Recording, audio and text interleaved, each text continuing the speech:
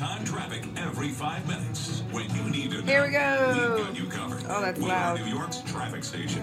WCBS News Radio 880.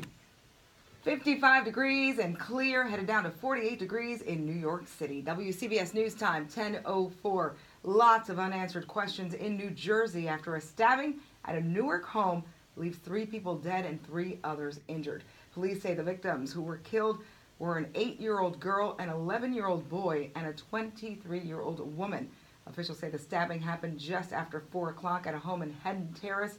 Newark Mayor Ras Baraka says he is shaken by the incident. about uh, I have young uh, children of my own, and you know, kind of makes my stomach churn uh, to imagine uh, the kind of horrific scene that took place uh, this evening. Essex County Prosecutor Carolyn Murray says police are now on the hunt for a person of interest identified as 26 year old Jeremy Arrington. Anyone aware of or comes into contact with Mr. Arrington should understand that that is um, an individual who is wanted for for uh, questioning. Also, that individual has a warrant currently in an unrelated matter and should be considered armed and dangerous. He is wanted in an unrelated case for sexual assault as well as aggravated assault. You can see his picture on our website, cbsnewyork.com. Essex County's Major Crimes Task Force working with Newark Police on this case. Residents in the area say the family who lives at the residence is very nice and they are shocked that this happened in their neighborhood. He made the ultimate sacrifice on the job, and tonight a candlelight vigil held in honor of NYPD Sergeant Paul Tuzzolo. WCBS reporter Mike Smeltz files this report from Long Island.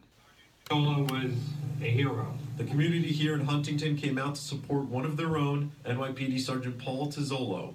The light posts are wrapped in blue ribbons in remembrance for the 19 year NYPD veteran. It was completely silent throughout the vigil. The only sound on the shutdown street was from the speakers who paid tribute to the sergeant. Suffolk County Police Commissioner Tim Sini says Tuzzolo's murder is the result of a job thousands do every day to serve and protect.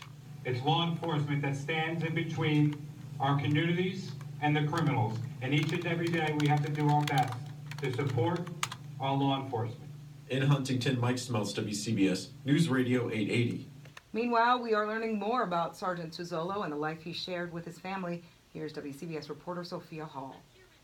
Where police cruisers are parked near NYPD Sergeant Paul Tuzzolo's house. The house he shared with his wife and two children. His children, two boys, are ages three and four. The 41 year old sergeant was a 19 year veteran of the force.